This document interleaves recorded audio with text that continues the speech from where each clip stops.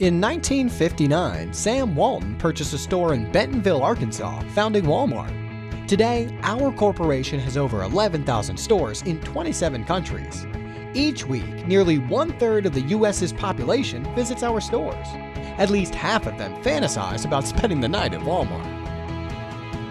In 2000, the film Where the Heart Is was released by 20th Century Fox, starring Natalie Portman, who ends up living inside of a Walmart store in Sequoyah, Oklahoma.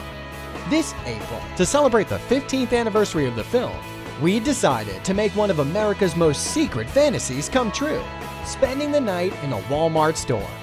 People will be able to book a night at our iconic Walmart Sequoyah store in Oklahoma through a partnership with Airbnb. Guests will be able to select from a variety of amenities that range from in store entertainment to dining options and comfortable patio furniture. Home is where your history begins.